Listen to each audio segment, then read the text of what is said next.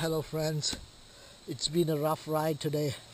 Yeah I fell in uh, into the river twice and getting onto a kayak uh, from the river is not easy. You know you have to have the right technique. Thank god I seen some videos on YouTube before ta uh, taking this adventure. Yeah but you can see that I'm totally uh, taken in water.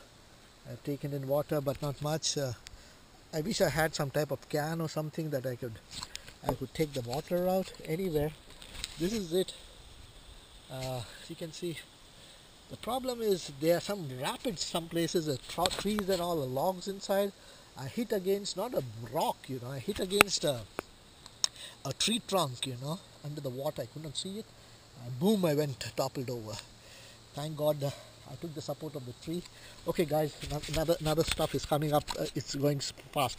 I'll take it off uh, and get back to you all okay? Bye